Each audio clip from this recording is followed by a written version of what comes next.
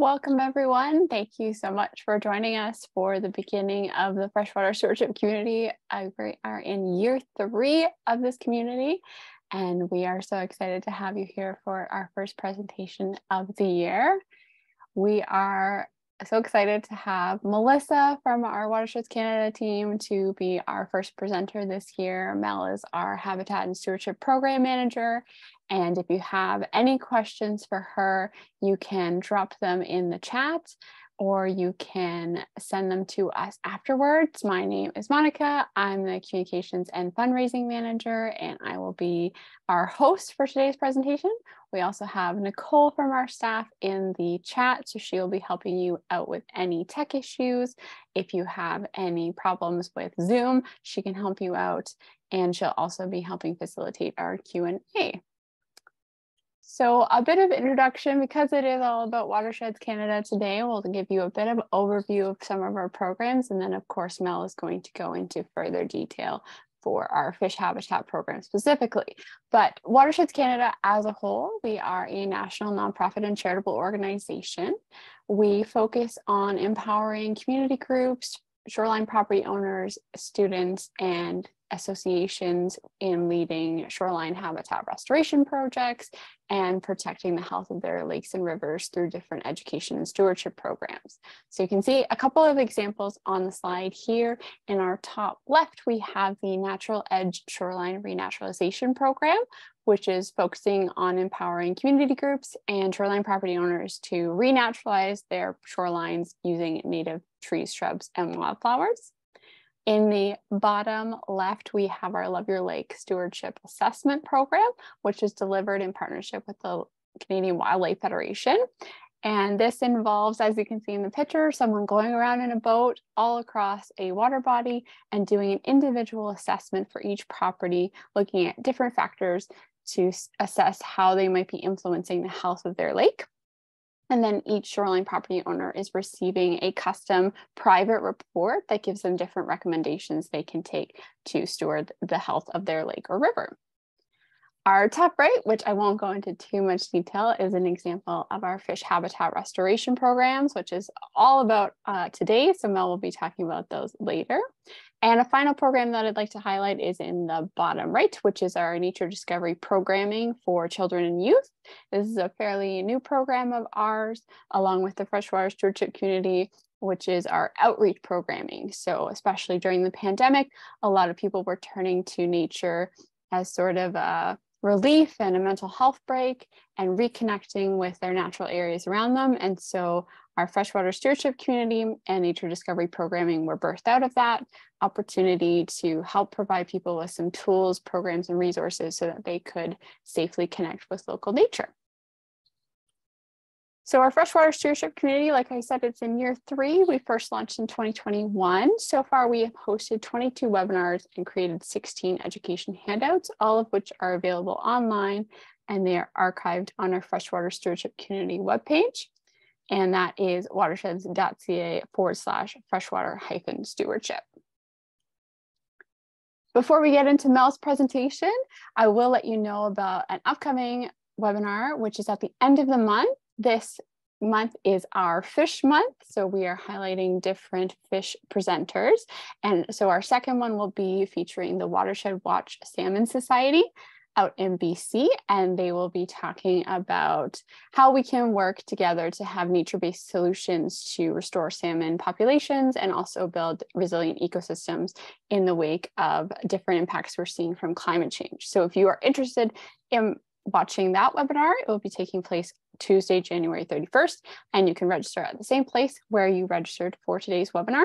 And every webinar except for one, I believe this year is going to be recorded. So even if you can't attend presentations live or if you have to leave early, your internet is spotty, no problem. You can always watch the recording afterwards.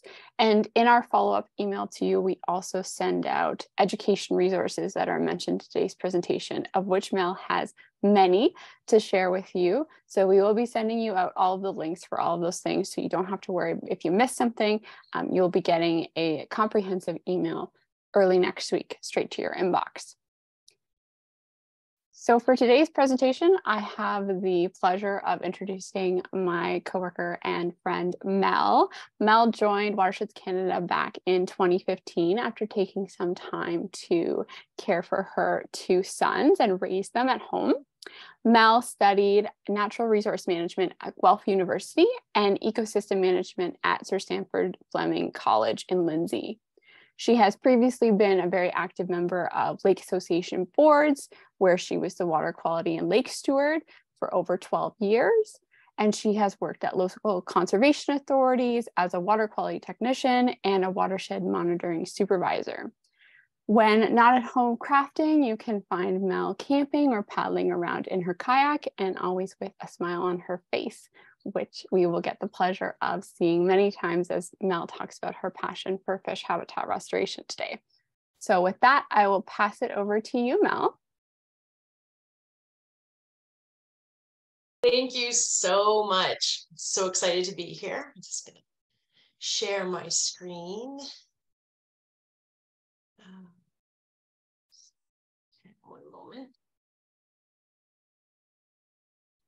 Up and going. Everybody see that okay, I'm assuming. Okay, thank you so much, Monica. Good afternoon, everyone. It's so great to see so many people interested in creating healthy and natural habitats for freshwater fish. Um, where I am today in Perth, Ontario, uh, my kids actually have a snow day, so they're they're curled up at home. But uh, I hope I hope you guys are all warm and cozy and everybody's happy and healthy. And I hope you enjoy talking about fish today. So today I'll provide you with an understanding of the biological needs of common freshwater fish species in Ontario and the threats that they're currently facing. We will explore examples of successful projects for the four types of fish habitat enhancement projects and I'll share with you some free tools to take action on your own lake or river. By the end of this webinar, you'll have a greater understanding into enhancing and restoring fish habitat in Ontario using the Fish Habitat Enhancement Toolkit and protocols. And as mentioned, if you have any questions, please type them into the chat and I'll address them at the end of the presentation. So we hear it every day in the media. The world is being affected by climate change. Weather patterns are changing. We're seeing more flash flooding, increased precipitation and storms um, in shorter amount of time. And development is at an all-time high, especially with the pandemic. We're seeing more people being able to work from home and more people are wanting to move to waterfront properties and ultimately developing those critical pieces of habitat we've gone from seeing natural, fully vegetated, healthy shorelines to this mowed lawns to the water's edge. So some of you may be asking why this is a problem. Well, this area is known as the riparian zone or the ribbon of life. It is what fish and wildlife depend on the most, and it's disappearing. When asked, most property owners will tell you the number one reason they wanted to own waterfront property is because it is waterfront property.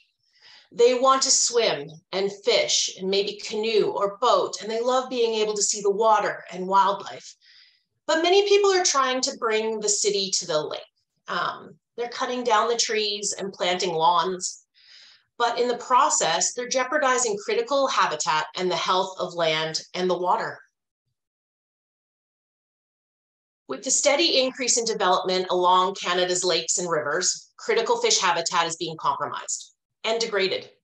So we must educate people and work together to help protect our precious natural resources.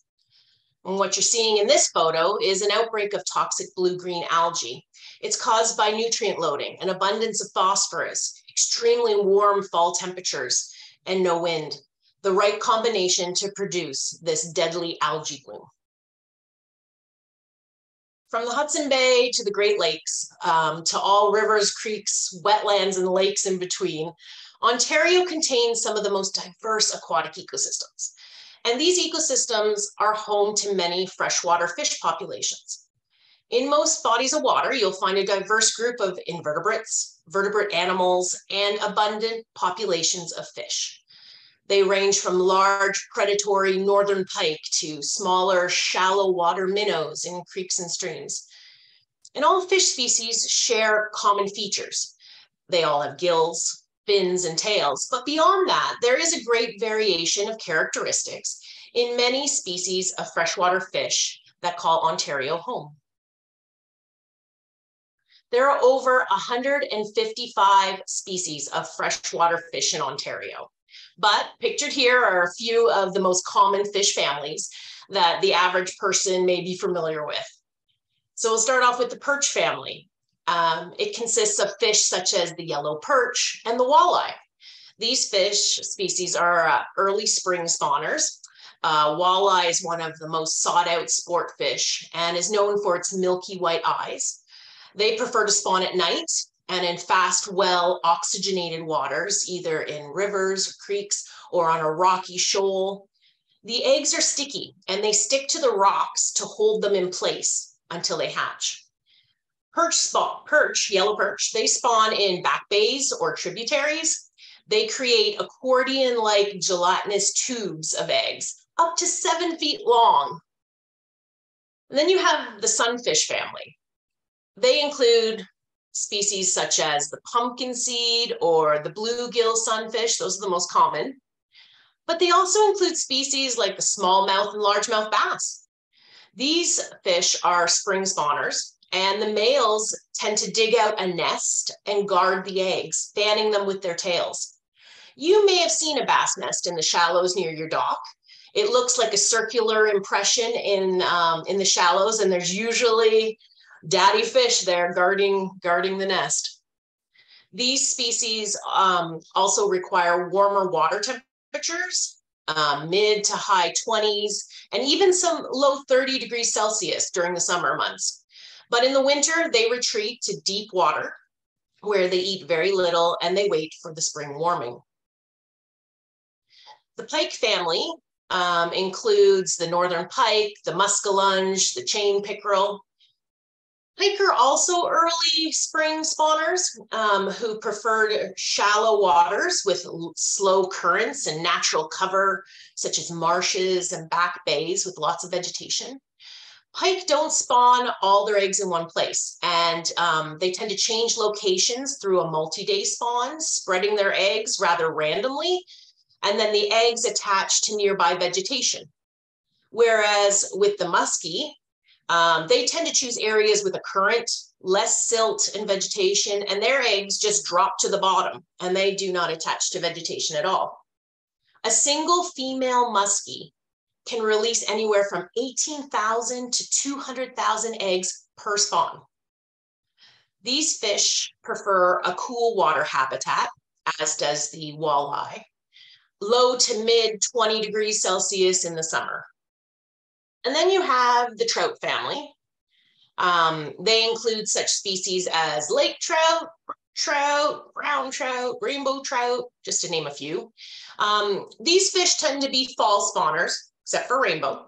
Um, and they prefer cleaner, deeper, cold water habitats, lakes and rivers that are cold and spring fed. They are a very sensitive fish um, and require higher oxygen levels and temperatures that are below 20 degrees Celsius. Freshwater fish are globally valuable, yet threatened everywhere.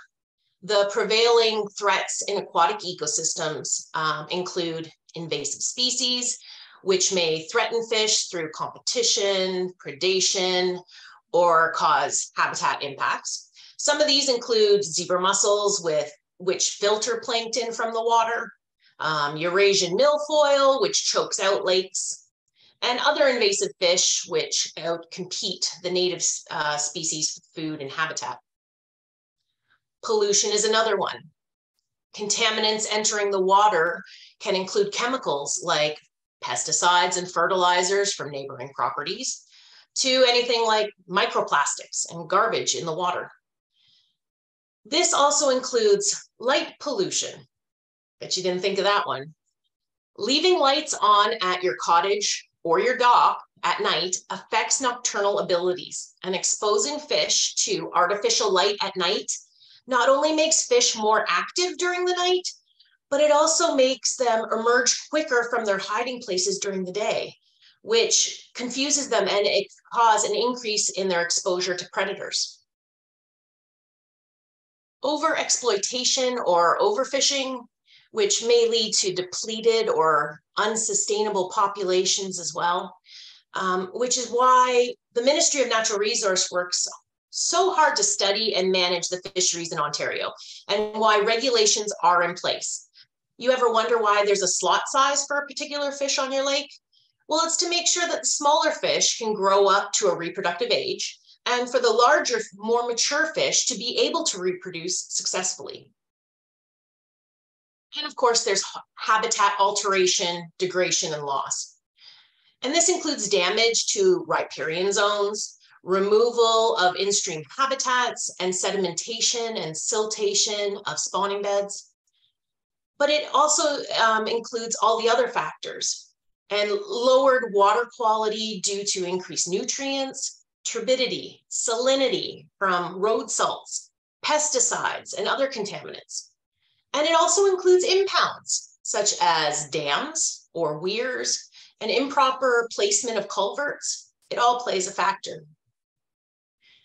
And of course, there's climate change. Climate change really affects the habitat ranges of many fish species. Um, the warming of the lakes and the rivers is great for warm water species like the sunfish and the bass. Um, it's actually expanding their habitat ranges. But the cool water species, the walleye and the perch, are being forced um, into deeper water as um, lake temperatures increase. And decreasing their range is also an increase of competition for food and habitat. The cold water trout species um, have been also affected. Their range has to be in the areas with the coldest temperatures, preferably under 20 degrees Celsius, like I mentioned earlier, with high oxygen levels. Climate change has also affected the amount of precipitation, the duration and severity of storms. There's more flash flooding and drought events, for a fish like pike, who rely on a shallow, calm back bay or a seasonal wetland, um, these areas to spawn in, these areas are appearing are not appearing now um, until April, uh, sorry, until May or June instead of April when they used to, um, when spawning used to take place. So biologists are now studying how climate change is affecting water temperatures and spawning timing um, in order to better manage the fish populations and the regulations. Although there are many threats to freshwater fish, one area we can really focus on is maintaining, enhancing, and restoring their physical habitats. The key is to really understand the species of fish you want to help. But this is important and, sorry, and this is important because as mentioned previously, each species requires a different area of habitat for different aspects of their life cycle and the time of year. Contact your local authorities, do a bit of research. Are you looking to improve the overall habitat in your lake? Um, like the structures, woody debris or vegetation? Or are you noticing that age classifications are not showing any young classes of fish? Is the overall water quality changing? Is there more development and altering um, or the altering of surrounding lands? There are many things you can do as an individual or as a community to help improve local fish populations. And attending this webinar is a great start. So let's start on land. Healthy fish populations depend on healthy shorelands, not just shorelines or aquatic habitats. Throughout various life cycles, up to 90% of fish and wildlife species depend on healthy shoreland. They utilize this area for sources of food, shelter, migration, breeding, and rearing of young. Now, some of you may be thinking land, fish live in the water. But many sources of food, including insects and frogs, for example, are food sources for so many species of fish. Also, when it rains, the water runs straight into the rivers and lakes if the surface is hard or impermeable. So by making a few improvements to the waterfront properties, we are able to decrease the amounts of pollutants and nutrients from entering the water and affecting the aquatic ecosystems. Here are some easy things you can do to improve this critical habitat. Stand on your dock. I know you've probably heard one of us say that before. Or look at your property from a boat. This is what we do in the Love Your Lake Shoreline Assessment Program.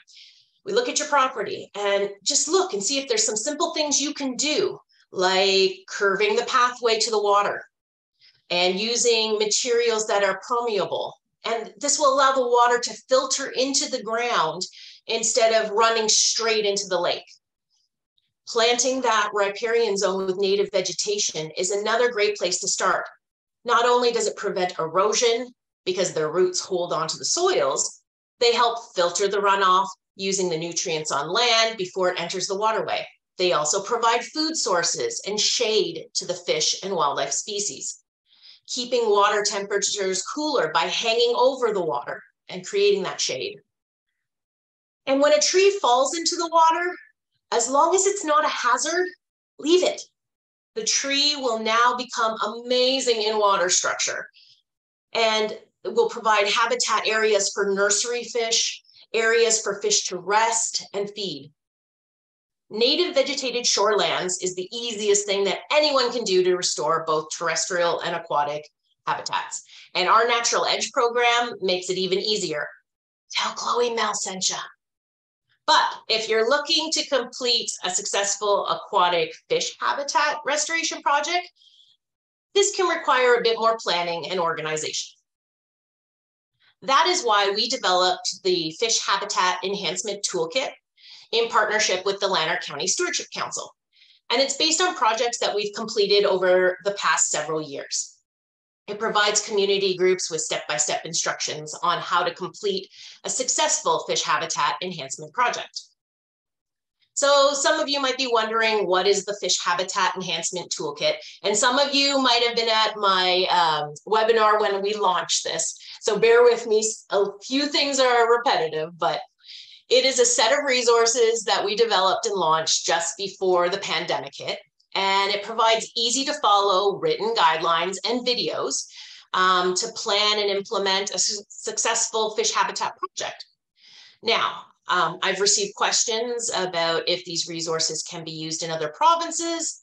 Yes, they can, but please note that these documents do outline key authorities and permitting process here in Ontario, Canada.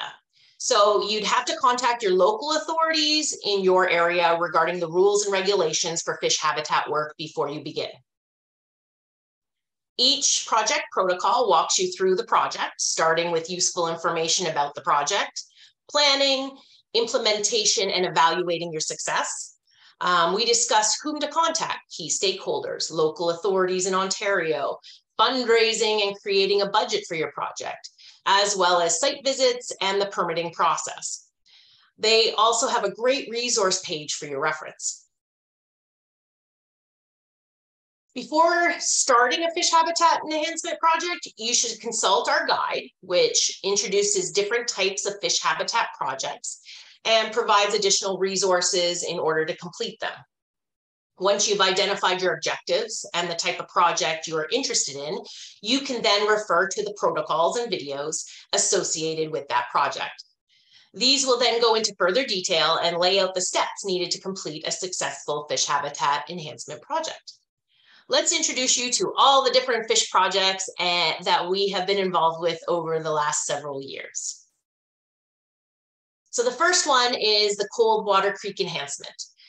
Cold water creeks are fed by groundwater and they remain cold all year. These creeks often flow during dry periods because they are not dependent upon precipitation or other surface water. Cold water creeks are generally less than 19 degrees Celsius, even in August, and healthy creeks have native vegetation along their banks. They have fast flowing waters and habitats such as riffles, pools, and runs.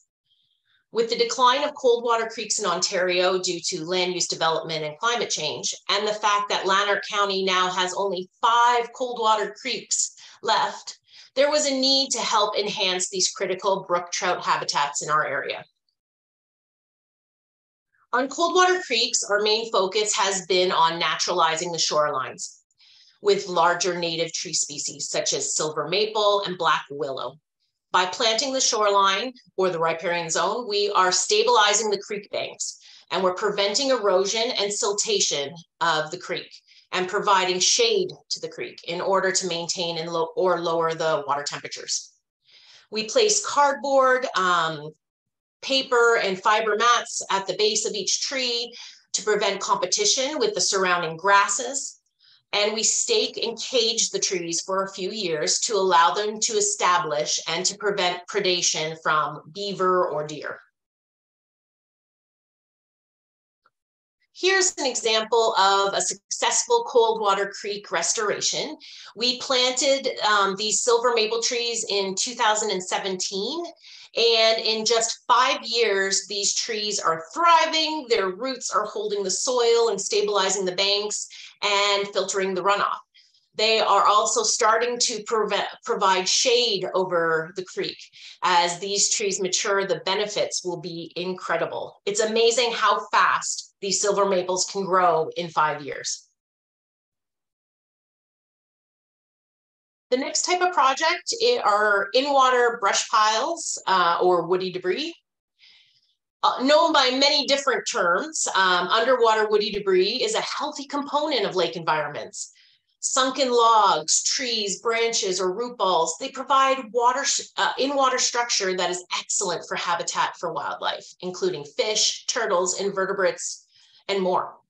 Brush piles or bundles can provide fish with a food source, as well as shaded areas to rest, spawn, and escape predators. They also improve water quality by reducing um, suspended sediments in the water.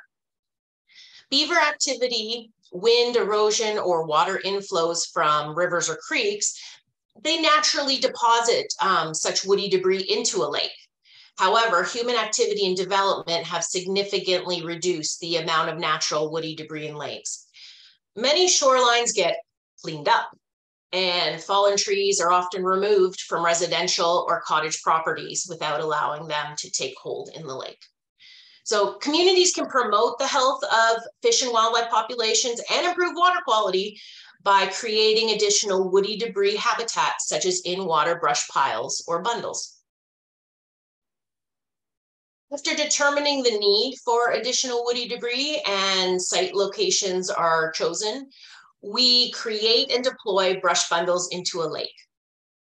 Creating a brush bundle starts with gathering local brush, tying it um, with rope that will not break down uh, by UV light or water, so it's specific rope, and anchoring it to multiple concrete blocks to ensure that they stay in place once deployed. Each bundle is placed in locations that are deeper than 10 feet or in back bay areas, so they will not create hazard. Sometimes um, we're able to access old Christmas trees and we have anchored them uh, to cinder blocks and placed them in deeper water, creating underwater forests. We then monitor the bundles during the summer for fish activity using underwater cameras and GPS coordinates that we acquired during the deployments.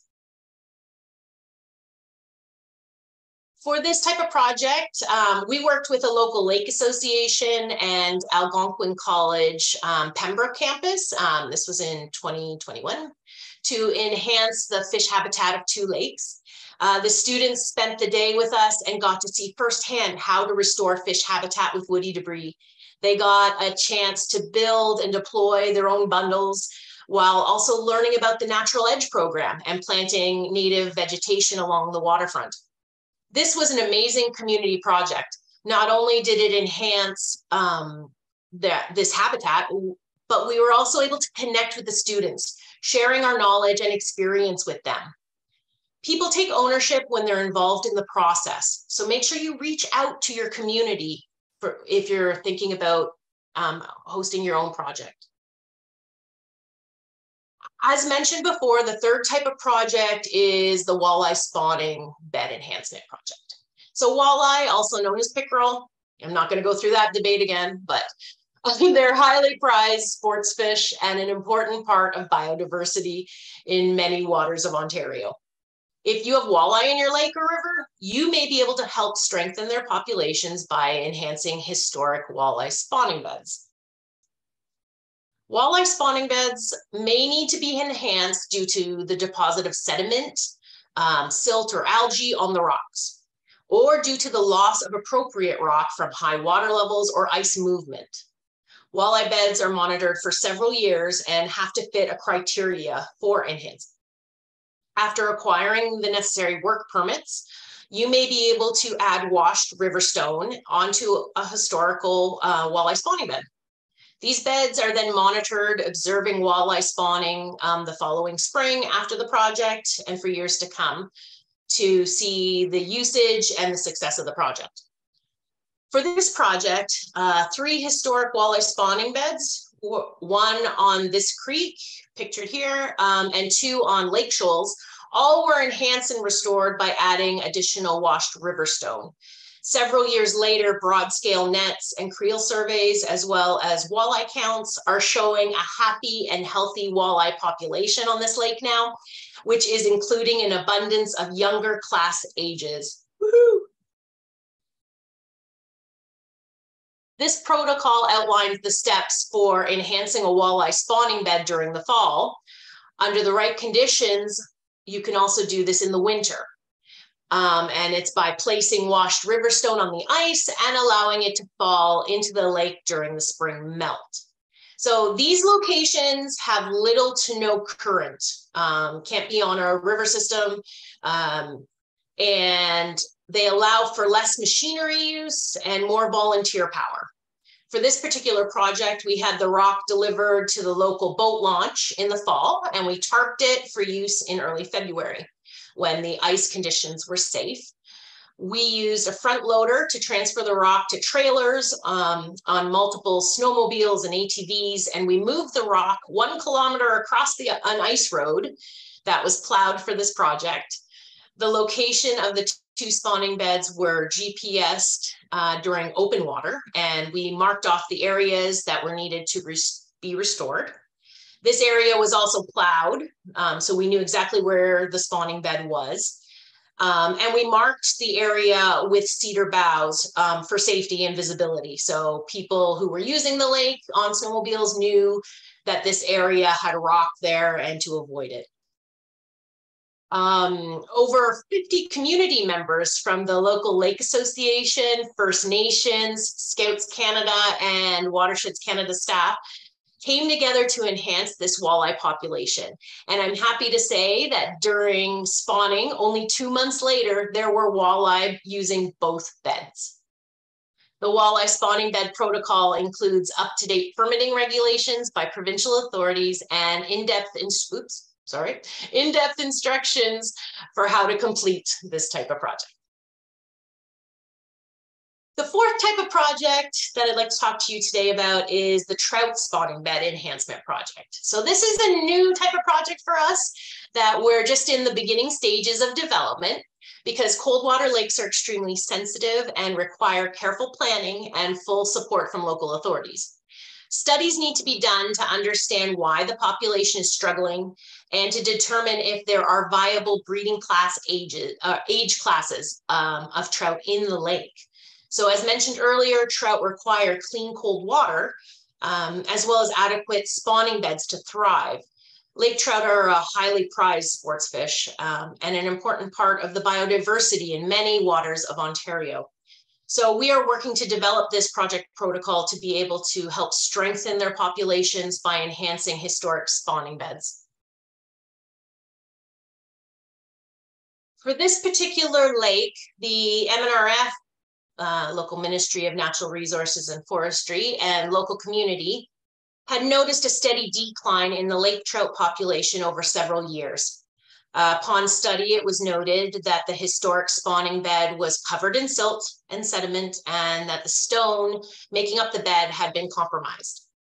Recommendations from MNRF were, were to first wash the spawning bed using a high pressure hoses and brushes.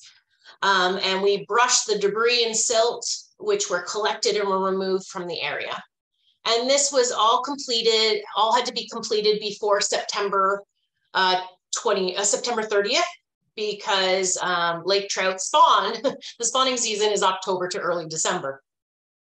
Um, the Ontario Federation of Anglers and Hunters Zone F, they lent us a high pressure pump and hoses and funding support was received from Bass Pro Shops and Cabela's Outdoor Fund.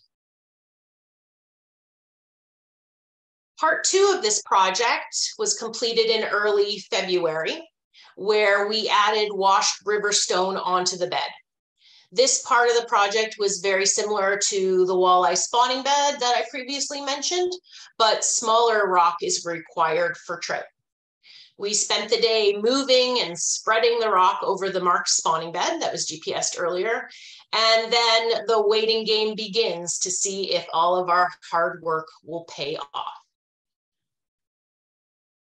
We returned to the lake once the ice had melted, and we're extremely happy to see that the rock fell right into place. And now we wait again. now it is up to the trout, and hopefully they like their new upgrade.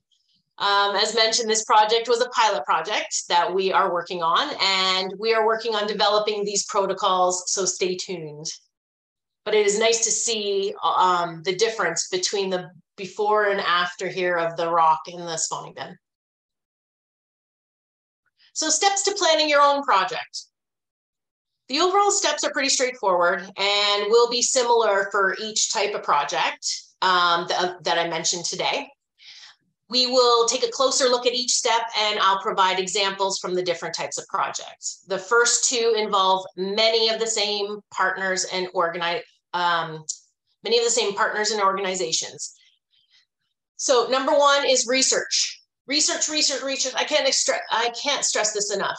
Gather all the available information on your local fishery from landowners, government, and other agencies to even determine if your water body could benefit from a rehabilitation or an enhancement.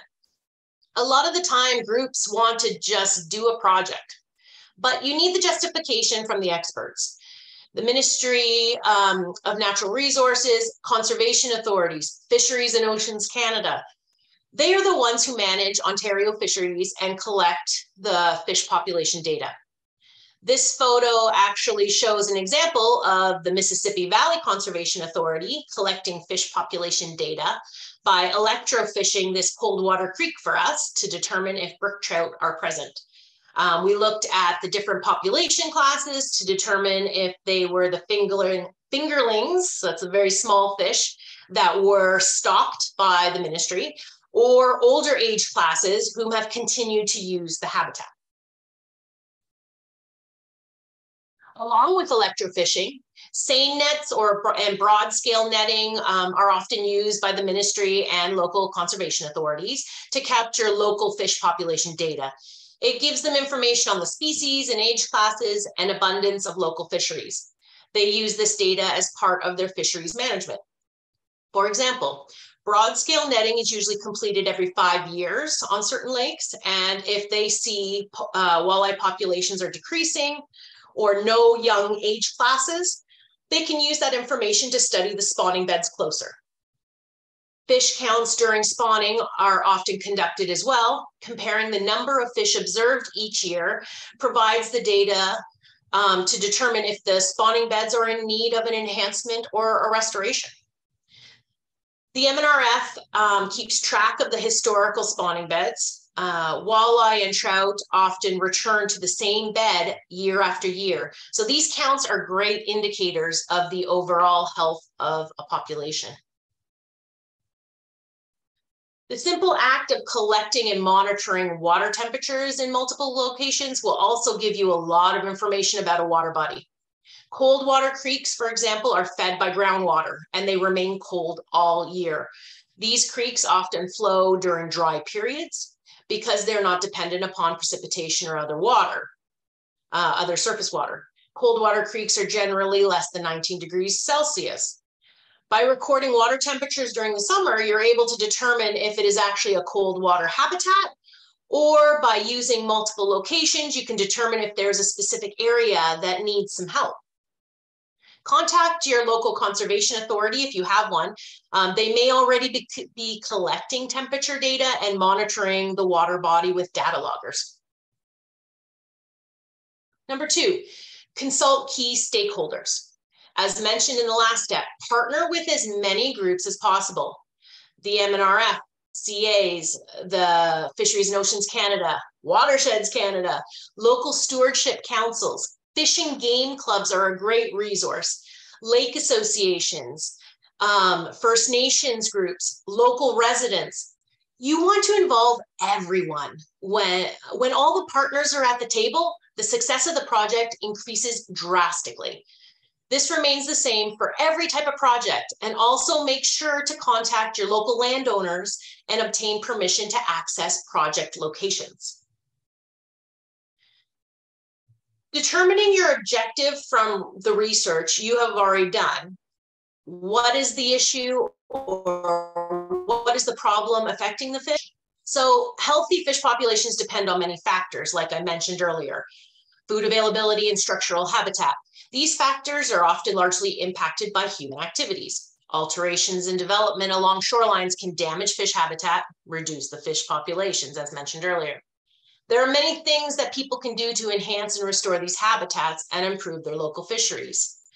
Um, aquatic vegetation, such as water lilies and emergent plants, such as bulrushes and cattails, are key habitat features for small fish and amphibians. Many people remove these plants as they want to want like a beach-like swimming area near their property. However, by pulling these weeds, um, shoreline property owners are directly destroying primary habitat.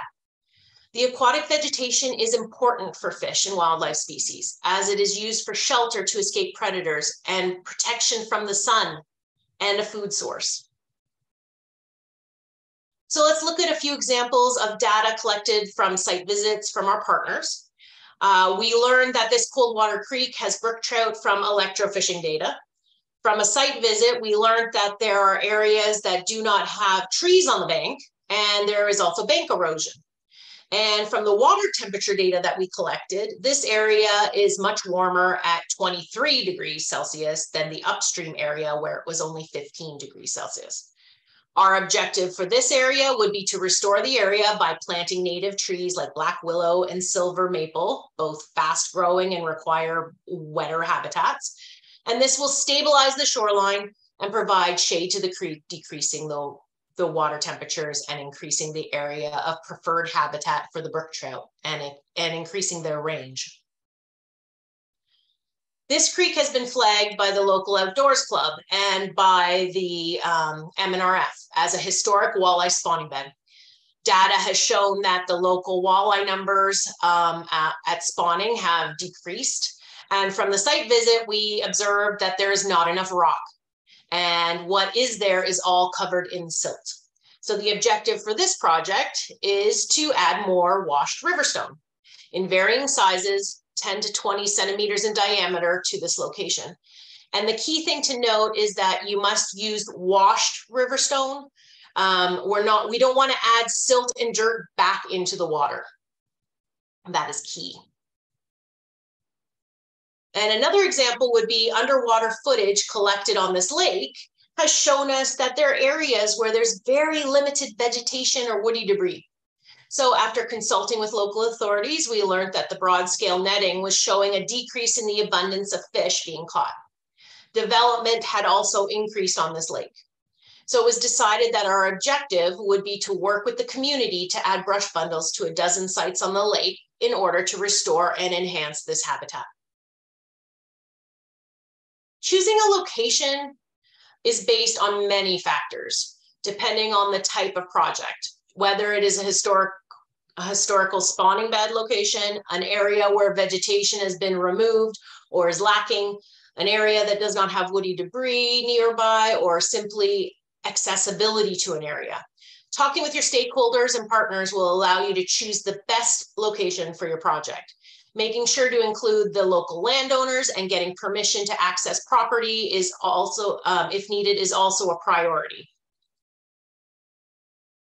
Site visits are a very important part of the process. Use the local knowledge of property owners, the local fishing community, and experts to determine which areas would best suit a restoration. When choosing a staging location, that allows you and fits your needs, okay? Public boat launches are often a great space to stage your project. Uh, remember that besides the actual area to be restored, you need an area that allows for equipment access, parking for volunteers, space to have rock delivered, um, and boat launches tend to be a great area if they're big enough. So you will also need permission from municipalities in order to use those spaces. Planning your project and obtaining official permits. Um, this step is critical for the success of your project. Like I mentioned earlier, each project is unique and involves different partnerships. But the key point to realize is that fish habitat projects take time. They take time to research, they take time to plan, time to execute. They do not happen overnight. And the more pe people realize this, the more successful the project can be. You need to plan out when your project will take place. This often depends on when um, certain species are spawning and when um, in the water work is even allowed. How long will it take? How many volunteers you'll need? What materials and equipment are needed? as well as creating a budget for your project. So projects are easy. Some projects are easier than others. Um, brush bundles or planting trees are not as involved as a spawning bed restoration. Planning also involves applying for the necessary permits for in-water work um, from the MNRF, from the CAs and Fisheries and Oceans Canada. And this process becomes easier if you've been working with them right from the beginning. They, they're aware of your project, so they know that this is coming. And sometimes they can even um, expedite it a little bit. But it can take several months to complete and to acquire them. So make sure that you apply early. As previously mentioned, you need to figure out a budget for your project and how you will fund it. Are you going to apply for a grant? um, acquire donations from a local business or from a sponsor. Some projects like brush bundles require more volunteer time than, and less money, whereas restoring a spawning bed can be quite pricey when it comes to purchasing rock or renting equipment or contractors. Also, ask your local contractors. Um, you'd be surprised how excited they could be to help out with a worth, worthwhile project. On your screen now is um, uh, Levanture Construction and M. Sullivan and Son, who donated equipment and time to help us restore three historic walleye spawning beds on White Lake. All of these projects that I mentioned today were possible because of strong community support, both from volunteers and donations. Watersheds Canada is a small nonprofit that does not receive any yearly government funding and has to fundraise for each project to ensure that they are a success. You can help us start 2023 strong for upcoming fish habitat restoration projects by making a tax receivable donation at watersheds.ca slash donate. The final step is just as important as the work itself. Communicating and sharing what you have done in an extremely important is an extremely important part of the process. Funders want to know what, you have done um, and want to be recognized for their support and contributions to your restoration. And community partners are excited to share the great news. Being a part of a fish habitat restoration is fulfilling. It is great to know that you are doing something good for the local fish and the wildlife in your area.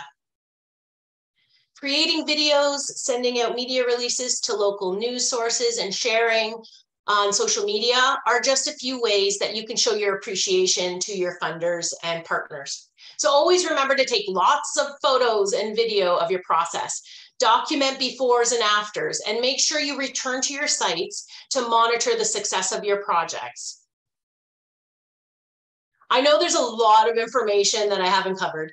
I could actually talk about each of these projects for probably a few more hours.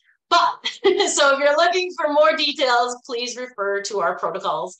And I highly encourage you to watch the three accompanying videos. Each video is under 10 minutes and gives an overview of what is involved with that type of project, as well as demonstrating how they can be done. The videos were created by Pine Grove Productions and are available on both Watersheds Canada website and our YouTube channel. In Watersheds Canada, we believe sharing our resources, expertise, and programs um, allows us to make the greatest improvement to freshwater health across Canada. When we teach you how to help, we give you the power to pass on that same help to others. Thank you for joining me today um, to learn about creating healthy natural habitats for freshwater fish in Ontario.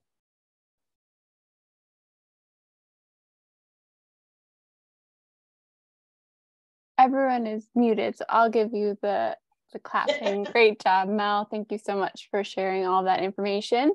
We have a survey link going in the chat right now. Nicole's going to pop it in there. If you can let us know what you thought of Mel's presentation today and also if you have any further questions or topics you'd like us to explore in the 2023 webinar series, you can put that in there too. It's all anonymous, so please put as much information or questions as you have. We do look at those surveys and use them to guide our future programs.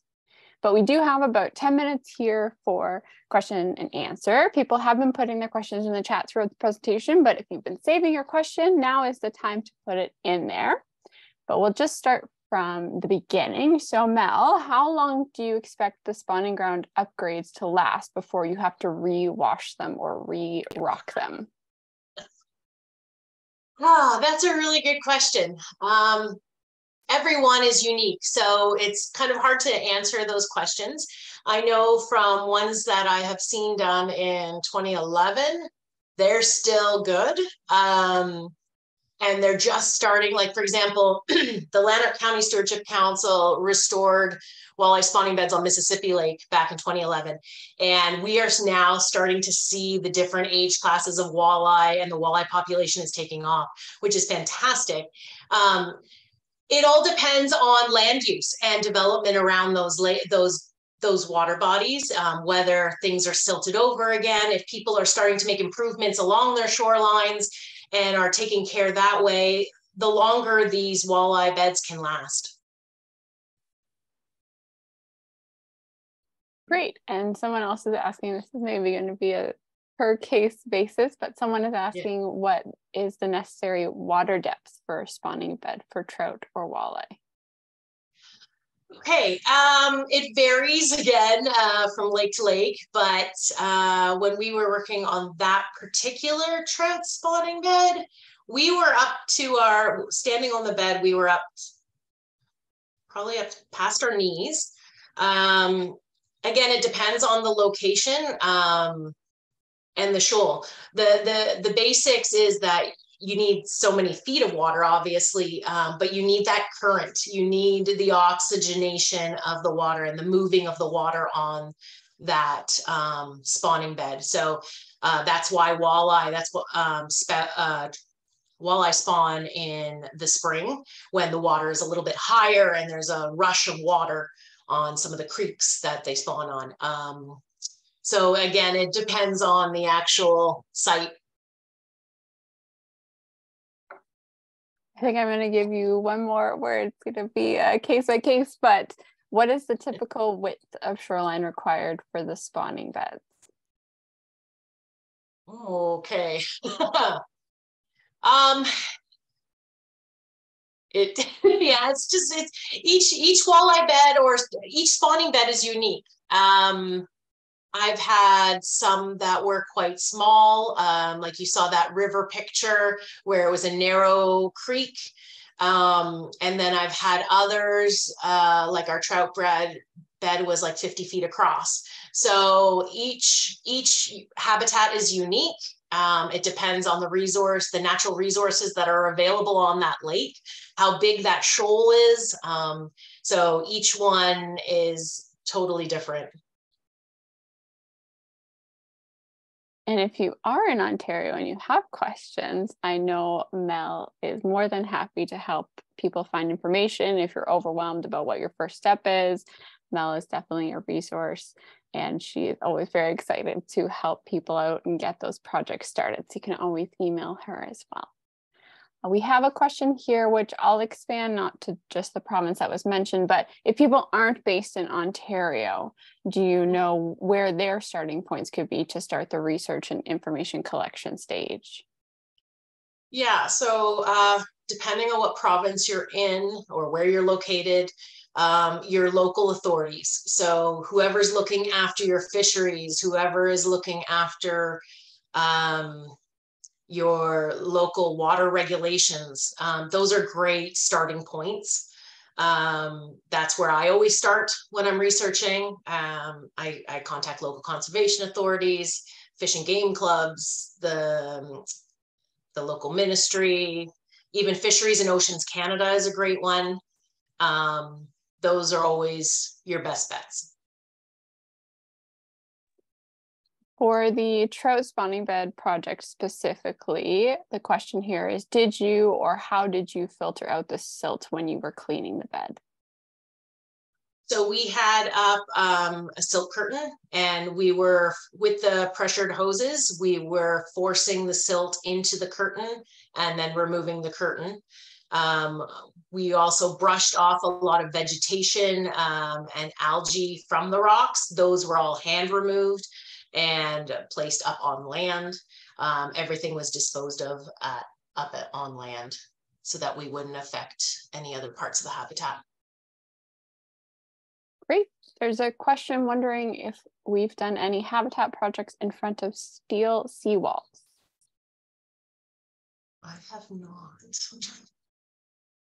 No. Um, I'm not too familiar with that, unfortunately.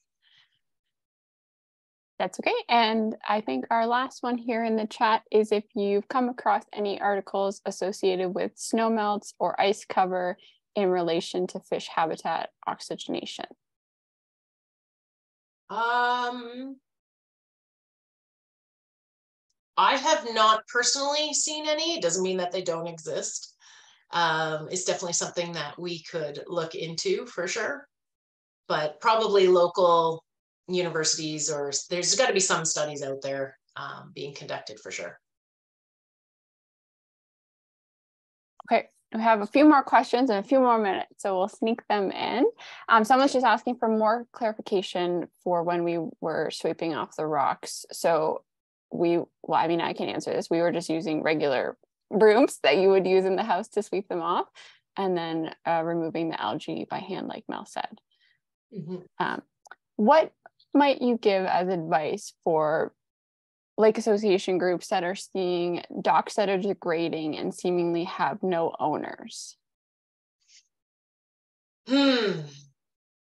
Well, that's tricky because once things become part of the ecosystem, it's worse to actually remove them than it is uh, to leave them. They, if a if a dock is starting to rot apart and it has been embedded into that um, shoreline, it's now become fish habitat. Um, fish are using it as shelter. So it can be tricky to remove um, abandoned docks. So it would definitely be something you may have to call a local authority on. Someone is wondering if any of our projects have involved environmental DNA kits. No, that would be interesting. I personally haven't used them. Okay. And then our last one is just asking if we do partnerships with First Nations groups. Yes, yes, for sure. We, um, like the, I said, that one walleye bed that we did, uh, we had a local, the local First Nations group uh, joined us. Uh, we had 15 members and uh, it was fantastic. Even hearing about the populations um, from years ago from local residents. It, it's it's interesting to see how the populations have changed um, and how the land has changed. And um, so, like I said, involve everybody in these projects. Great. I don't see any more questions. So um, Thank you so much again, Mel. Thank you everyone for joining us today. Don't forget to answer that quick survey for us so that we can know how we did today and also if you have any pressing issues that are happening on your lake or river and you want us to host a webinar about it, that's the place to put it. Otherwise, you can expect an email from us early next week, which will have the recording from today's presentation and a handout that summarizes all of the resources and the key points that Mel made today. You are welcome to share the handout and the recording widely with anyone and everyone you know who might be interested in using these resources. And as I mentioned, if you have any questions about a specific project, especially if it's in Ontario, you can reach out to Mel and her email's on the screen, uh, dakers at watersheds.ca. So thank you everyone so much and enjoy the rest of your day. Thank you.